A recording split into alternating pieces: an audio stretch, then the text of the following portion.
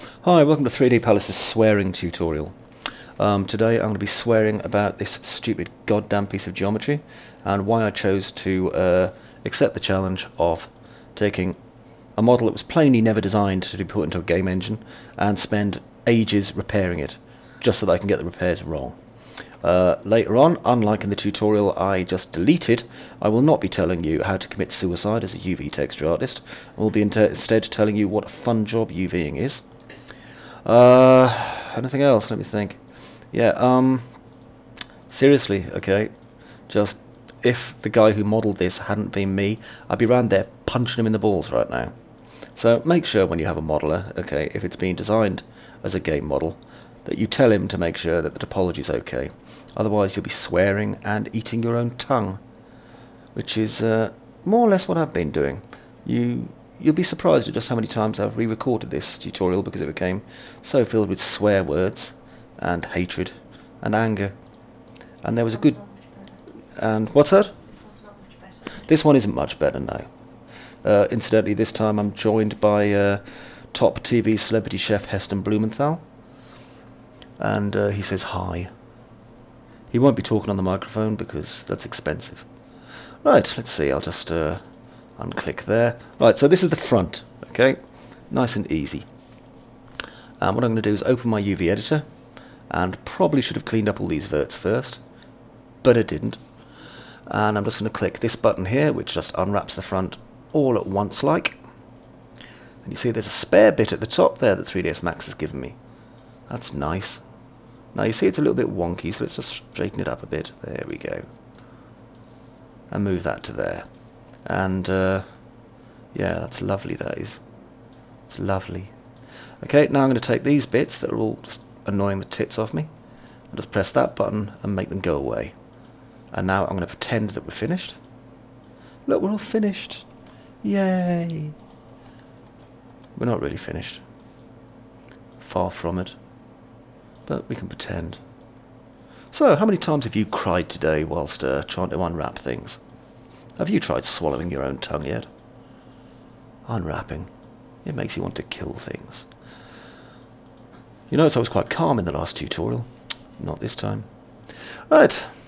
Now I'm going to move these parts up. Shift and grab. Because there's a hidden polygon there, you see. That's like a challenge for you. If you didn't see it was there, you would when your texture was all kind of streaky and weird. And you're going, oh, Cris, why have you taught me to make this model so badly?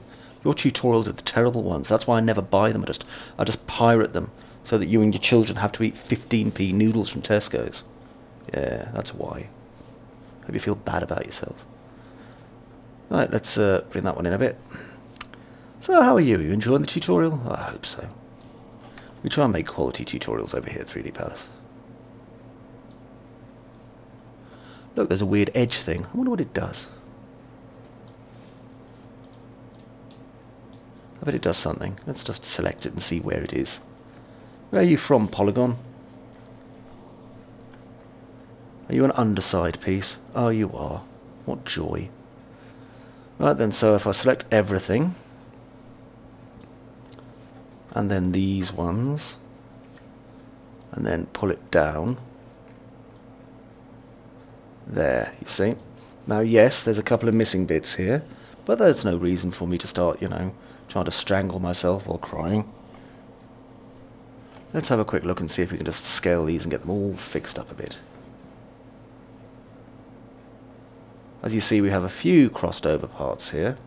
Not many, though, so that's okay. ah, sod it, I'm just going to have it this way. I'm in a rush. I can't be bothered to do things the good way anymore. Now then, where's this polygon here from? Oh, it's a side one. I didn't even ask for a side one, did I? I didn't select them or anything. Why is there a side polygon in here? Go on, you. Bugger off. I'm going to detach it and throw it away. Tools. Detach edge verts. Now press the bugger off button. Go away. Go on. I don't want you there. Uh, is there another one over here? Or is that it? No, I think that's it. Right, let's have a look at this polygon, straighten out a bit.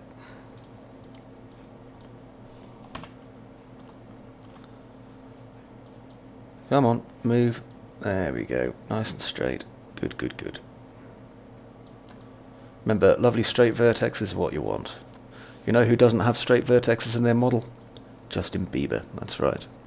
You don't want to be like Justin Bieber, do you? No. You know why, don't you? Because Justin Bieber punches goats. There we go. Lovely, lovely, and lovely. So we're nearly done here. We're just going to sort out our inner windows. And you're probably sitting thinking, why did I go all the effort of torrent downloading this torrent? Well, if you did, it's because you're a wicked person. And you've made angels cry. Now I'm going to push this down.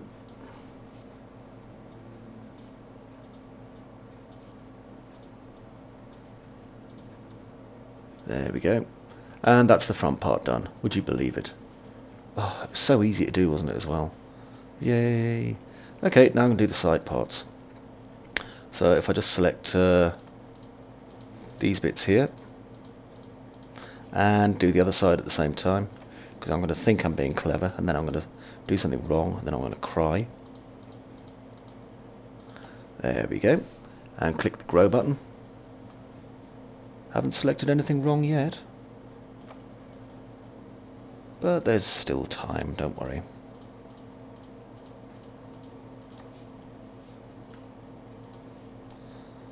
I'm just going to go through and select all these parts here. And I probably selected a wall piece by mistake at least once. Which is good because it means that our UV map will be wonky as hell. Let's just move this over here. Because my view is if my UV map isn't wonky as hell, it's not a 3D Palace one. You know what, dear 3D Palace chums? I'm sorry. I feel we got off on the wrong foot somehow. I think that doing UV maps has perhaps enraged my brain too much. Let's be friends. Let's just do UVs endlessly. While crying. Alright, let's turn this one around. You know what, I should just get drunk and do this in the style of Pedro del Toro. Most of you don't remember him, but he was a great tutorial author from 3D Palace about nine years ago. Admittedly, all he could ever model was uh, probably stuff that isn't really suitable for offices, but he still has a fond following, I believe, in various universities. I know Stafford University uh, posting about him the other day. His tutorials were, as I recall, uh, the teapot car, which is a car made from teapots. Well, a teapot, with some spheres for wheels, or cylinders or something. The second tutorial was a neck massager, take that as you will, that used to bend and flop about. The third one was bouncy balls, the fourth one was bendy finger.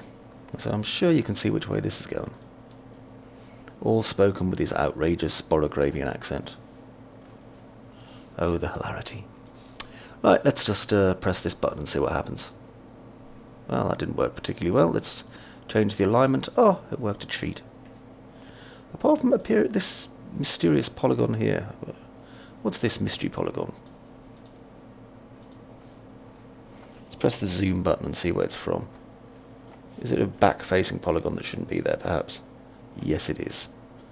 So you know where it can go, don't you? Somewhere else. Okay, so this part here should be fairly easy. Just going to have to go around it quickly and make sure that it's not got any wrong parts. It doesn't look like it has yet, though, so that's always a joy. Going to shift these in a bit. Just to make the uh, unwrapping a little bit easier, like that.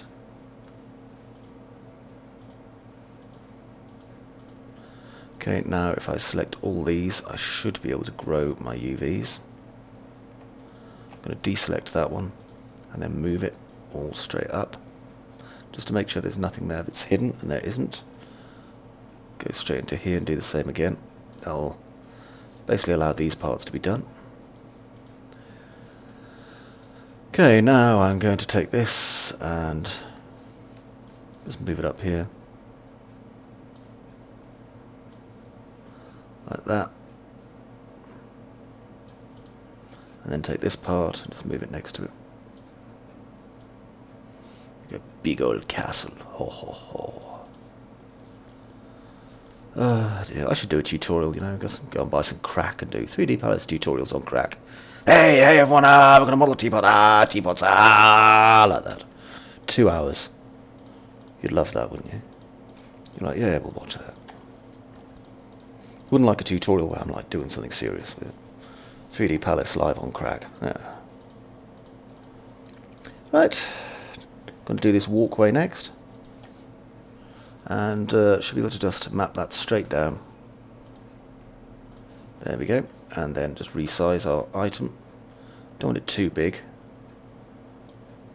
Because we've still got quite a lot of stuff to do and we can resize parts later. It's not really an issue. Right, we don't have any backside to this, which is going to make it nice and easy, but we do have these walls, and I'd like to do them now, that way they'll be out the way.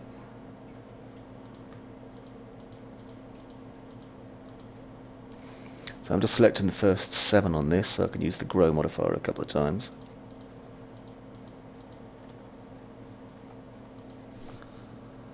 Plop, plop.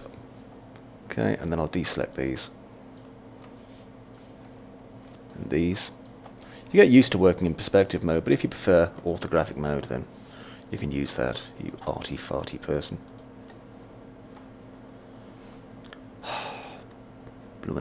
Orthographic mode. When I were a kid, there were no orthographic mode. It were perspective or note. My dad used to come in the room, he used to say, son, I hope you're working in perspective mode. I go, I am there, father. then he used to beat me with a belt. Because that's how they work up in the northeast of England, you see. That's that means you're doing well. Oh, I'm going to beat you with a belt. Oh, thanks, Dad. Happy times. How Electronic Arts does it. Well, beating you with a belt, locking you downstairs in the cellar, abusing you a bit. That's the promotion fast track. You know, it's funny how many how few people actually listen to the tutorial when you get to this far on in it. Especially when it's something like unwrapping a gatehouse, which I know is quite a difficult kind of thing to be doing in the first place. There we go, let's press this button and see what happens. No, work please, ah, like that. See, it's worked. Crying at your computer makes it work better. Right, now we'll take this smaller wall here and move it down here. How are you doing over there? Hmm? Excellent. Sorry about that, just got someone here in the luxurious 3D Palace offices helping themselves to the caviar and the foie gras. By caviar and foie gras, I of course mean 15p Tesco value noodles.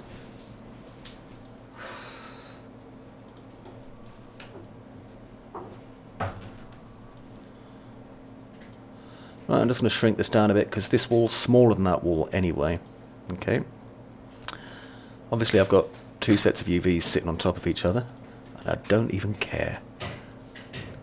Right, now I'll just go up and grab this and then this. There we go. Oh, is that Tesco healthy eating cookies I spy there? Flipping marvellous. Why, thank you. Nom nom. Now to listen to me crunching up biscuits. Mmm. Mmm, so guilty. Right then. So with this part done, I can now do the front. Mmm, biscuit. So what I'm going to do is select the inside of these windows. It makes it easier so you're getting like parts that are easiest to get to out of the way. And then make the embiggen button.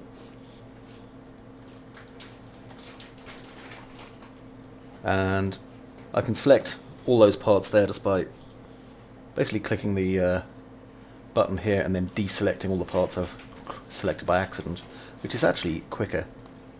There we go. So just deselect these side parts. And then all I need to do is really just select these three polygons repeatedly until I start going mad and uh, try and bite off my own tongue while crying.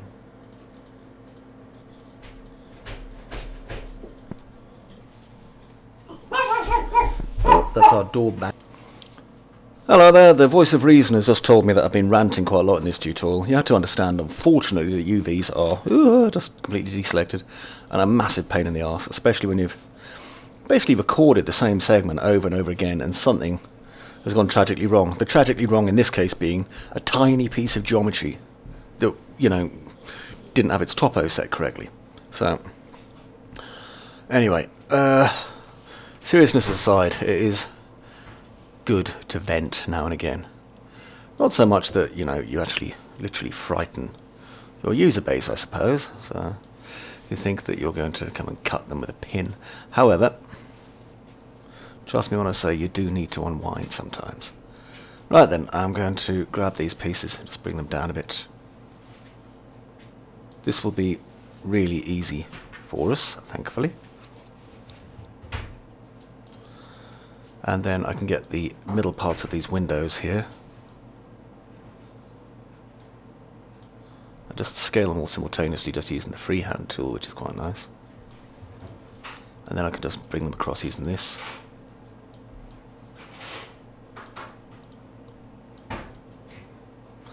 Uh, the tutorial I deleted before this contained so many expletives it just couldn't have been used by anyone ever, if it's any consolation.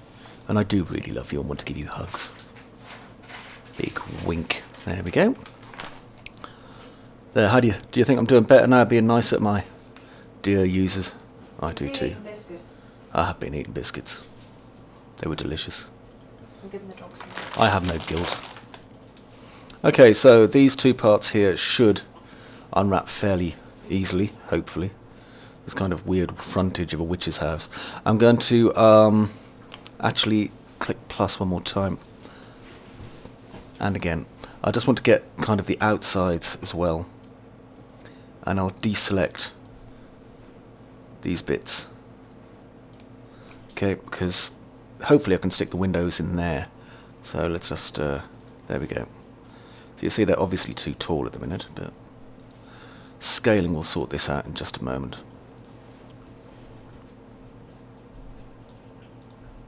Okay so bring them down so they're to more reasonable height. And there's quite a lot of work needs to be done really to make these okay, so I'm just going to start off with the inside here. And I don't think a uniform scale will work too well. No, it won't, but it'll work well enough, I suppose.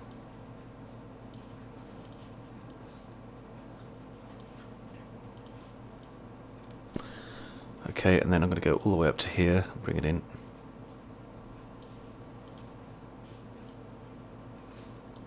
Okay, and that basically leaves me like this. Now I'm going to try and get this one as similar as I can.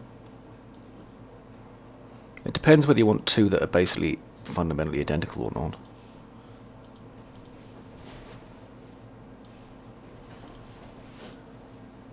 I think I was going to just overlap them, but I'm not so sure really I want to. I think what might be nicer is if I just put them fairly close to each other, like that, and then fit them in somewhere when I'm done. Now you can see our roof is, well it's getting there, um, it actually looks like this is our roof here, I suspect. That's the tunnel from the bottom, you can see. So this part here looks like our roof. Yeah, I think it is. Let's see if I can just select it and make things a bit easier.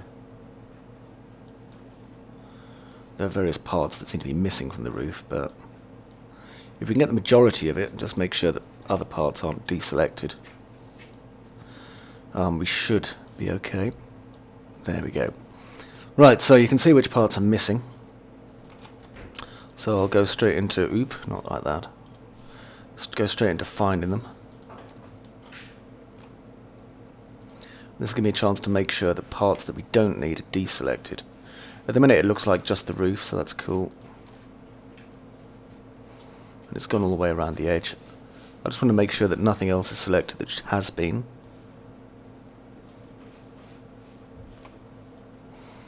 That seems fine. Okay, now go over here. I'm going to do a select. And I'm probably going to have to do a rotate as well. Hang on, let me just... Uh, align this better. There we are. Now it's aligned, that'll make my job like so much easier. There we go. Now, the roof, I can put this here. Like that. And, uh, yeah, that seems okay actually. There's some parts here that I might need to change, but uh, aside from that, it's not too bad. So.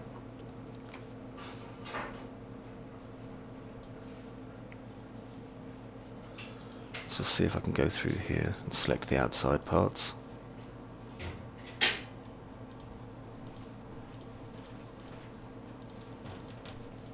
If not, then it's going to be easier, possibly, doing it differently. Let's have a look. Select this lot. Shrink my selection. There, that's it. That's what I wanted.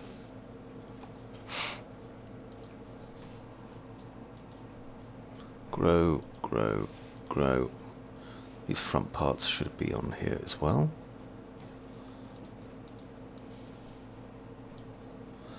Okay, now shrink it. Yeah, it shrinks too much, that thing. It shouldn't have shrunk that far. Never mind.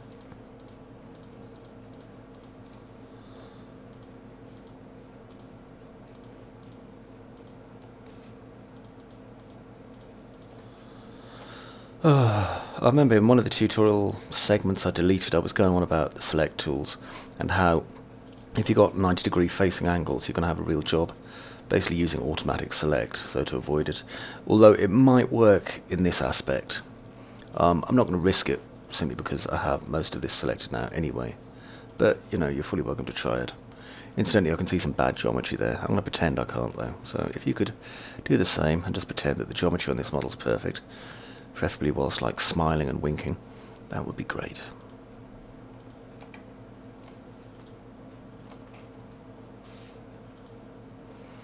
If you hear any bitter crying, by the way, that's probably me.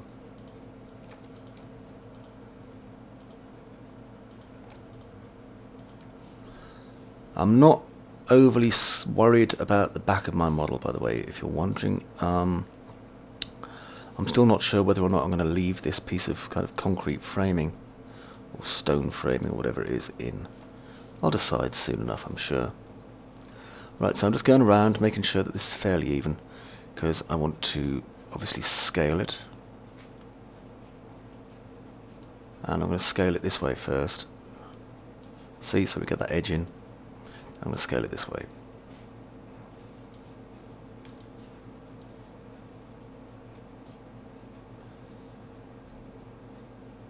Like that. Okay, that's fine. Right, now I'm going to take my two windows that I've created and make them a bit smaller.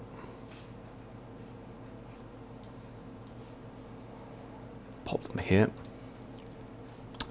And my crenellations, which are basically what all these bits down here are kind of doing. I'm going to take those in a second. So I've got the back sides of my crenellations that I've got to do as well, much to my extreme annoyance. So first of all I'm going to go over the tops. So just basically going up here. It's a bit like a track, you know, just going over the top. Um, I'm going to go one way first, and then I'm going to turn the model around and make sure I've got everything selected the second way, just in case you're wondering. That was one of the pieces of topology, by the way, that was missing that made me incredibly unhappy. Those corners there,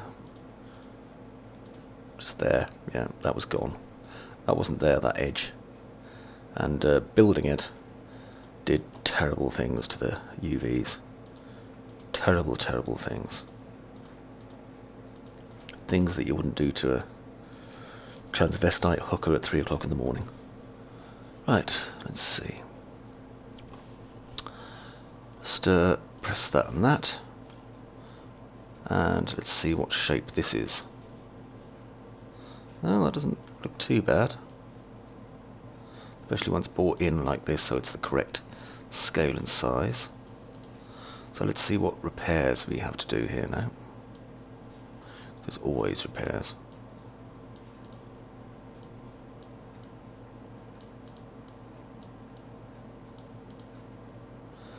there.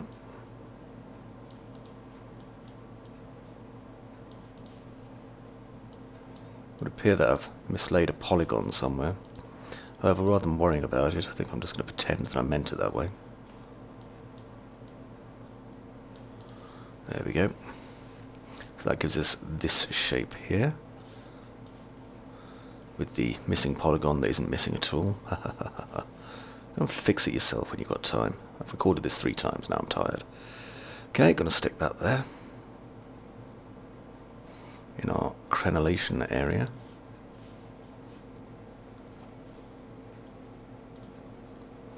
Now this one.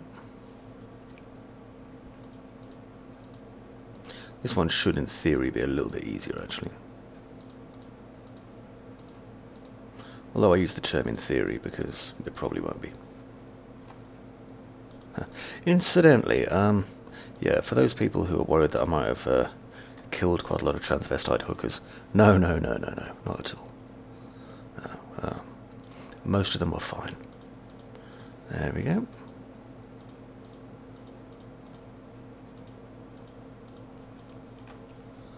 I want to get some very confusing phone calls from the police soon, I can imagine.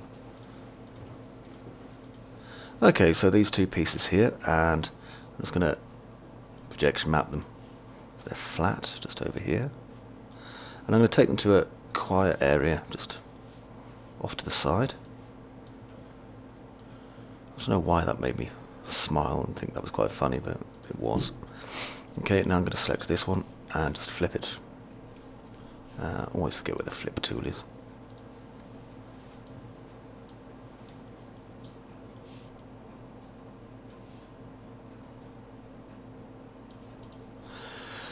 Okay, and with these on top of each other now, I can just do some minor moving.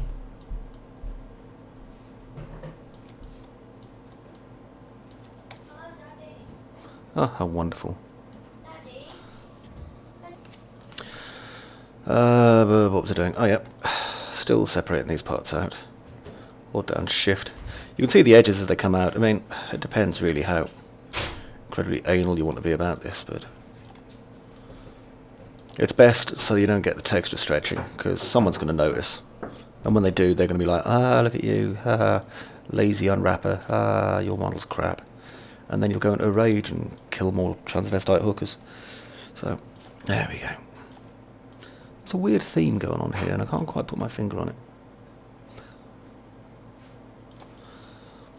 Okay, so this part here now is ready to go off down to the uh, side here.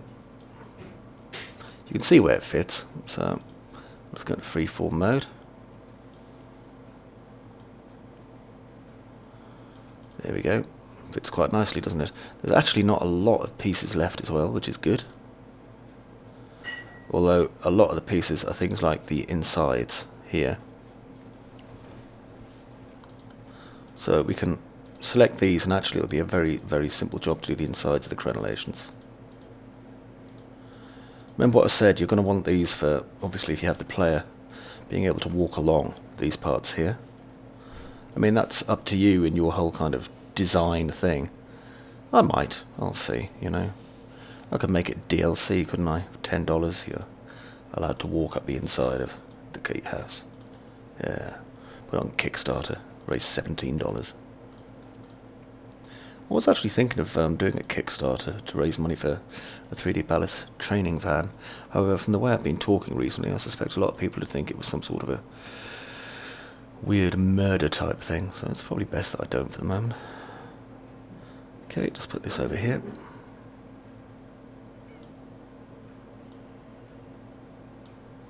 Like that. And we've got this piece over here at the front. See how that curves out there? That's weird, that. I didn't actually select it that way, so... Anyway, let's... Uh, let's, I mean, I'm going to just uh, select here, I think. Click the grow button, and we'll select some extra ones for us.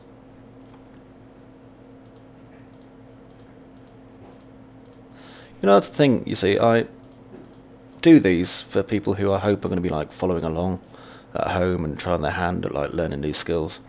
I get this horrible suspicion at least one person's just sitting there, completely naked, covered in like custard powder or something. Going, yeah, more UVs. Uh, which is perfectly, perfectly understandable because, you know, this is the internet we're talking about here, but still slightly worrying. Okay, put that up there, and I can just fit it into this part. Not a lot of bits left, if you'll notice, and the bits that are left are, well, they're confused, lost little pieces that probably should have uh, taken more care over. Okay, now this part here is the inside of our tunnel, just there, depending on whether we need our tunnel or not. Uh, so for that, I think uh, cylindrical, ideally going in the correct direction, would be beautiful. There we go.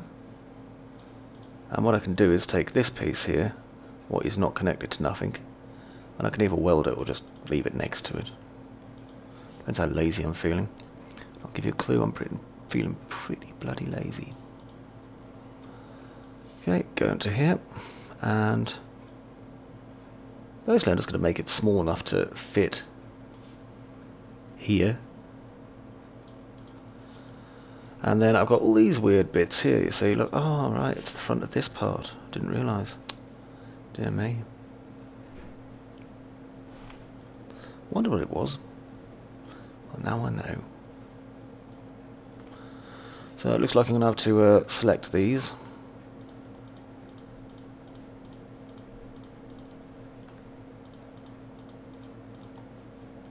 Go all the way along. And then down here. Yeah all these parts here that uh, basically leftover polygons are part of this tragic little thing.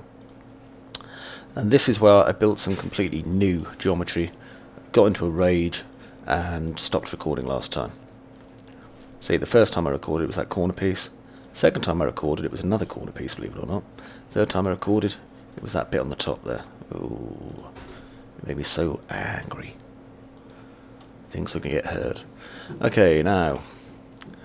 Just quickly go around, make sure I haven't got any bits selected that I don't want again. I know it sounds stupid as hell, but really you don't want to. Okay, go into there and click that. Bring this up here. Okay, now I'll shrink these down. And what we have to do is get this a rational level. So Make sure there's no hidden bits where there shouldn't be.